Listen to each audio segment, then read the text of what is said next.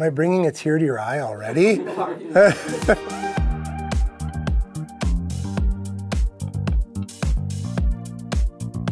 Moving to generative AI is a culture shift, and you really have to think about that process engineering and being brave enough and bold enough to make those changes.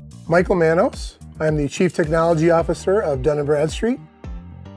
The company's been around for 183 years. We've had four different US presidents work for the company, including Abraham Lincoln. And the purpose of the company, even going all the way back to its very beginnings, has always focused around data. We have moved 150 different products to Google Cloud. We are a big data shop.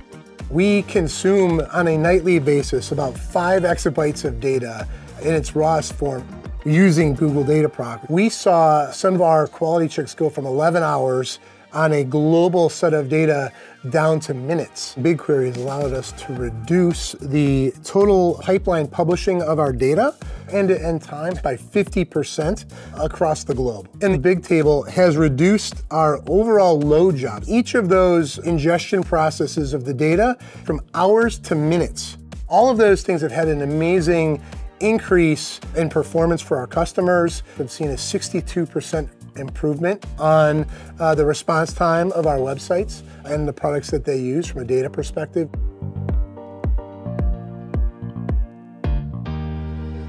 with Gemini and with Vertex. We've just launched Chat D&B that allows you to interface with the entire universe of data that we have to target businesses. And you can then tie into the sales and marketing databases that we have to pull out contact information, pull out fraud and risk information, and then get those results interactively and integrated into your CRM or automatically generate email campaigns with that information built in customers have shared that their marketing campaigns have gone from months down to days.